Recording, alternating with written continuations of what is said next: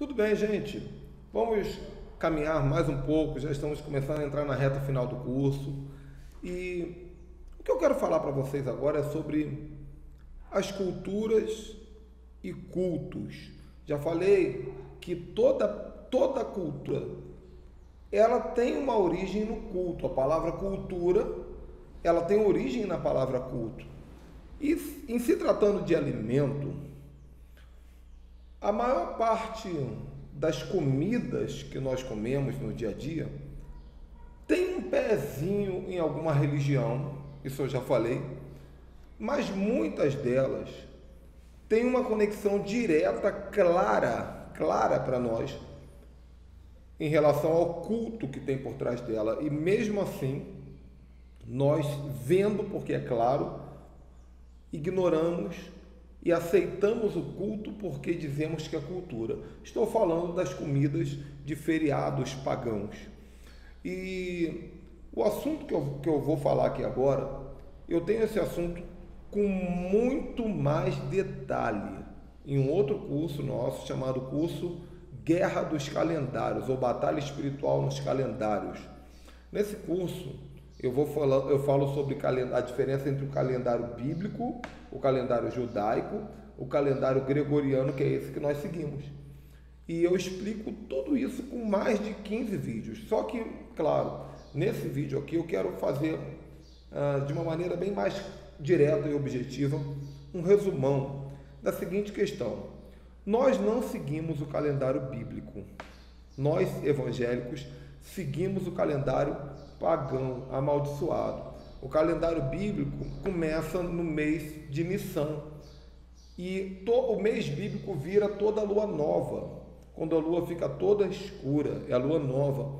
Então, toda a lua nova, a primeira, o primeiro mês bíblico, que é Nissan, de acordo com Êxodo capítulo 12, versículo 2, se eu não me engano, é a lua nova entre março e abril. É o primeiro dia do ano bíblico, não do ano judaico. O ano judaico tem a ver com a festa de Israel, da comemoração do Estado de Israel em 1948. Estou falando da Bíblia. A virada de ano bíblica é lá, em Nissan, na Páscoa Bíblica. Depois, toda lua nova muda o mês. E os meses bíblicos, eles têm também as festas bíblicas. Não estou falando de judaizar a igreja, estou falando que nós temos festas bíblicas. E toda festa bíblica, praticamente todas as festas bíblicas são acompanhadas de alimentos sagrados, de, de atos proféticos da igreja que nós deixamos de praticar. Por quê? Porque nós, evangélicos, nos envolvemos no início da igreja cristã com a católica, através do. Na verdade, nós éramos a igreja católica, e através do concílio de Constantino, o, o, o sincretismo religioso misturou a cultura da igreja. Então nós renunciamos o calendário bíblico e aceitamos um calendário pagão, um calendário de demônios. Janeiro, fevereiro, março, abril é Jano, o Deus de duas cabeças, ano novo, vida nova, porque uma, um lado olha para trás, o outro olha para frente, duas faces, Jano. Fevereiro é Febros, é o Deus da doença da febre. Ele é comemorado num ritual da Carnavalha, que é o Carnaval. Março é Marte, o Deus da guerra, quando começa a batalha na vida das pessoas, não é isso? Abril é, é Afro, é Afrodite. Então você vai percebendo que todo mês, até os dias da semana, tem conexão com o calendário amaldiçoado. Domingo é Sunday, o dia do sol, ou Dominus Day, o dia do Senhor pagão, que é o sol. É, depois é o que? Monday, o dia da lua, Monday. Depois vem os deuses nórdicos, os deuses vikings, Day, Thursday, Wednesday, que é o Odin, o dia de Odin, Friday, que é o dia de Frida, Thursday, que é o dia de Thor. Então, por trás disso aí, essas divindades, elas pedem rituais, elas pedem banquetes. Por isso que muitas vezes nós fazemos um, você vai, você vai perceber que tem crente que não consegue ficar sem comer um chocolate no dia da Páscoa. Ah, mas é porque é muito chocolate e a gente fica com vontade porque, porque a gente vê chocolate. Mentira! Você vê chocolate todo dia que você entra no supermercado. Janeiro, fevereiro, março, abril, maio, junho, julho. Você vê chocolate todo dia. Você entra na padaria, tem chocolate. Só que porque no, na, na, época da Páscoa a vontade de comer chocolate aumenta. Que nem chocolate é essa parafina que vende no Brasil. Então por que que na época de finado tem que comer peixe? Porque por trás desses dias existe uma divindade que está pedindo a mesa dela, o banquete dela. Então eu podia falar de cada um desses feriados, mas eu vou falar só de um, de um só, que você pode aplicar o mesmo entendimento nas outras festas. Eu quero falar do Natal. Eu tenho um, nesse curso Guerra dos Calendários eu explico isso muito, muito, muito, muito. E eu tenho um livro online que eu também falo sobre isso. Mas o Natal é o seguinte: qual é o espírito que tem por trás do Natal? O pessoal chama de espírito do Natal. É o espírito da árvore. Que árvore? Que árvore é essa que a gente coloca dentro de casa? Eu não, mas muito crente coloca dentro de casa no dia do Natal. É a árvore do Éden, é a árvore do pecado, que a serpente está enrolada. Essa árvore aparece na Bíblia inteira. Ela é chamada de poste ídolo. Só que a tradução poste ídolo, ela não nos dá um entendimento real. Porque no original, a palavra poste ídolo é Asherá. É o nome de um demônio. Como esse demônio era cultuado? Era uma árvore que as pessoas colocavam é, todo tipo de ritual naquela árvore. Eu explico no outro curso. Só que a Asherá, ela não, ela não, ela não aceita um culto sem banquete. Então, o culto de Asherá tem um banquete.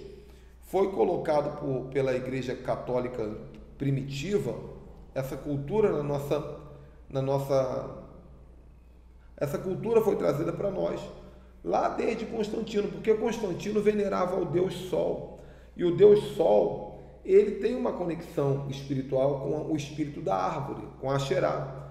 Então Constantino, quando se converteu, ele escreveu um documento em 300 depois de Cristo, né, dizendo: olha, eu como rei, como imperador, eu aceito ao Deus dos cristãos, mas eu não abro mão do culto ao meu Deus Sol, venerável Deus Sol. Por isso que o dia do Senhor deixou de ser sábado, passou a ser domingo, porque é o culto ao Deus Sol. Então, gente, claro que Deus recebe culto no domingo, não precisa mexer com isso. Mas o que eu quero falar é o seguinte: o, o, o, o Natal, dia 25 de dezembro, é o dia principal do Deus Sol. Por quê? Porque é o dia do Sol Invictus, que no movimento do Sol é o dia que o Sol está mais próximo da Terra. Então o que acontece é o seguinte: há um ritual de Axerá e um, e um ritual ao Deus Sol nesse dia. E a Axerá é cultuada de diversas maneiras. As pessoas botam a árvore e elas fazem a ceia. A ceia é mais forte no ritual do que a árvore. Então veja bem, o crente tirou a árvore de dentro de casa. Ah, eu não, eu não tenho árvore de Natal, graças a Deus. Mas eu tenho a ceia. Aí come. Tem alguma coisa errada comer pernil? De jeito nenhum. Tem alguma coisa errada comer bacalhau? De jeito nenhum. Tem alguma coisa errada comer nozes, castanhas? Não, não tem problema nenhum você comer essas coisas. O problema é você juntar essas coisas em cima da mesa no dia do Deus que é venerado por elas. E a Xerá fala no subconsciente das pessoas. Porque tem gente que fala assim: olha, se não tiver um bacalhauzinho na mesa, não é Natal.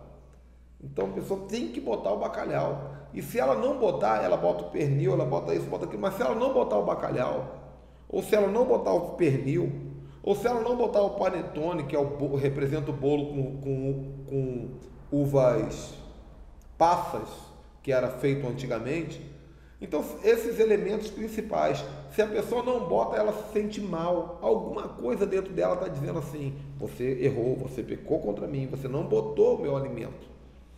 E tem todo um ritual que a Xerá pede. Tem que ter os elementos, tem que ter uma pessoa triste, tem, uma das pessoas chora, fica triste.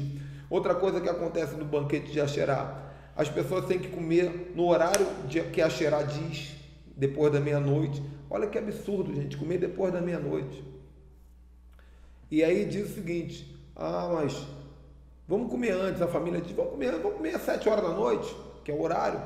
Aí se, se come sete horas da noite, parece até que cometeu um erro, que pecou. Então, por que eu estou dando esses exemplos aqui de uma maneira resumida? Isso vale para Páscoa, vale para o churrasco de virada de ano, isso vale para o dia de finados, isso vale para o Natal e para todos os outros feriados pagãos que você for descobrindo aí. Por que eu estou dando esse exemplo resumido? Porque muito, muitas vezes, por trás de uma comida que você está comendo, tem um demônio que está sendo venerado por conta do ritual que tem junto com aquela comida. Existem dois tipos de pacto que se pode fazer com o demônio. Existe o pacto voluntário e o pacto involuntário. Qual é a diferença? O pacto voluntário é quando a pessoa fala assim: eu sirvo ao diabo mesmo e eu vou fazer um pacto. Ou então a pessoa diz assim: eu acredito no meu santo, eu vou fazer um pacto. A pessoa vai lá e faz um pacto voluntário. Agora, qual é a diferença do pacto involuntário? É quando a pessoa faz um pacto sem saber que está fazendo um pacto. Ela pensa que é cultura. Tem tanto pacto que a gente faz pensando que é cultura, não é? Ah, desvira o chinelo, senão o pai e a mãe vão morrer. Coloca o trevo de quatro folhas dentro de não sei de quê. Bota uma, um, uma bolinha de, de, na testa da criança que ela vai parar de soluçar. São pactos involuntários. Um jogo de baralho. São pactos involuntários. A pessoa não sabe que está fazendo um pacto, mas ela está fazendo um pacto. E o diabo, ele não quer saber se o teu pacto é voluntário ou involuntário. Pacto é pacto. Você viu o vídeo anterior, é muito forte aquilo, não é? Muitas vezes você está fazendo um ritual sem saber que está fazendo um ritual. Outra coisa, vou falar aqui logo porque eu ia esquecer. Cosme e Damião. Não deixe seus filhos comerem essa comida amaldiçoada. Ah, gente, mas ganhou na escola. A mãe, eu sei que a mãe não é, não é espírita. Ela fez por cultura. Culturas e cultos. Cosme e Damião é culturas e cultos também. Ah, mas a igreja, a igreja está fazendo o dia do, do, doce. Gente, pelo amor de Deus, me perdoe se eu estou confrontando um, algo que a sua igreja ensina. Me perdoe, por favor. Mas por que a igreja evangélica está distribuindo chocolate no dia que o diabo distribui chocolate? Ah, se é melhor, se vai comer no mundo, é melhor comer na igreja que o nosso é abençoado. Não, meu irmão, você está fazendo ritual. Você está fazendo pacto. O diabo considera isso como pacto. Ah, mas eu orei pelo chocolate. O diabo também, ele, o diabo ele vai encontrar legalidade nisso. Ele tem direito nessa legalidade. Ele patenteou esse ritual. Ah, é porque a gente faz a festa jesuína no dia da festa junina e a gente faz as coisas da festa jesuína, da festa junina. Cuidado, porque muitas vezes você está repetindo um pacto um pacto de santos católicos, o pacto do São João. Ah, é porque nós fazemos ah, ah, o Corme Damião Gospel, aí muda o nome. Não, é o dia do, da criança feliz, o dia da criança ungida, do, a criança abençoada. E aí nós distribuímos doce na igreja, doce santo profético. Não, meu irmão.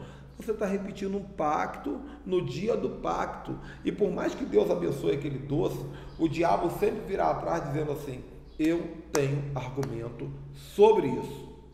Isso é a lei espiritual da cultura e dos cultos. Quem tem ouvidos, ouça. Deus te abençoe. Até a próxima. Tchau, tchau.